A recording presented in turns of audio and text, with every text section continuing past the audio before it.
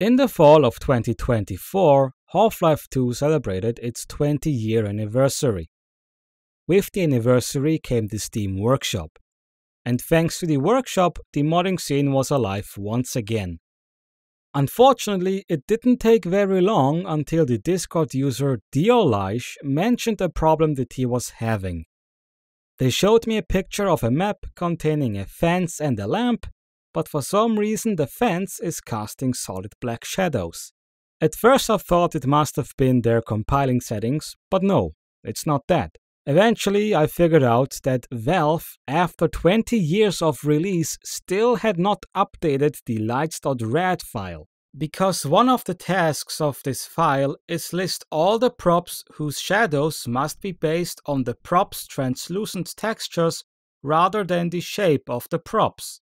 And since Valve didn't fix their mistake after 20 years, I've done it for them. And the rest of this video is a guide on how to install and use this fix. The first thing we need to do is open the folder where Half-Life 2 is installed and create a new folder. If you don't know where this folder is, find Half-Life 2 in the Steam library, right-click it, go to Manage and browse local files. Inside of this folder, create a new folder called vradfix. While still in this folder, use the search function and look for gameinfo.txt. You will get maybe 5 or 6 files. Open every single one of them in a text editor. Inside of the game info, scroll down until you find the search paths. Just below the opening bracket underneath search paths, add a new line reading game vradfix. Every single game info must have this line at the very tippy top of the search paths. If it's not on the top, it won't work. In the description is a link to a GitHub page containing two new lights.rad files. One is called Bigger Lights.rad, which contains every model with fence and foliage in the model name. The second one is called Huge Lights.rad because it contains literally every single model in Half Life 1, Half Life 2, Episode 1, Episode 2, and Lost Coast. It might seem overkill to have every model in this list, but that isn't a problem. Because the lighting compile program always checks whether a model is static or not and whether it has transparent materials or not. If a model is not static or does not have transparent materials, it'll always be ignored in this step as it should be. And if you do find a model that you don't want to be in the list, you can simply open the Radiosity file, find the model, and delete it from the list. Anyways, in GitHub, click on Code, download zip, and download it into your vradfix folder and unpack the rad files from the zip.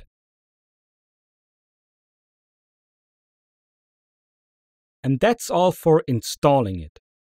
Now you have to make use of it. In Hammer, press F9 or the Compile Map button. Click on the Expert button if you aren't using it already. Then click on Edit Pick any of the configurations that you would like to use, then click the copy button.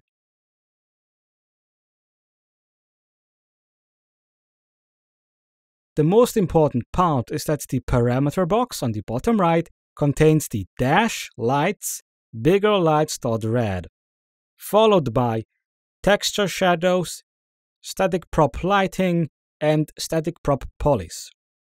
This defines what radiosity file to use and to actually use the shadows based on the alpha channels on all of the models inside of the rad file. And now you're done. There is nothing left for you to do other than to compile the map and watch your problems disappear. And with that, we have reached the end of today's video. If you enjoyed this video or found it useful, please leave a like Subscribe for more content like this and feel free to leave a comment if you want to request a very specific video guide. If you need help with this process or modding in general, join the Dead4Mods Discord server, a link to which has been provided in the video description. There is also a link to my personal Discord server, which is not quite as active as Dead4Mods, but it's mostly about shooting the shit. If you wanna be really nice and financially support me, there is a link to my PayPal down below as well. I could really use some money to buy a new chair right about now. But this video has been long enough as it is. Have a nice day, have fun, good luck, see you next time, bye. Thank you.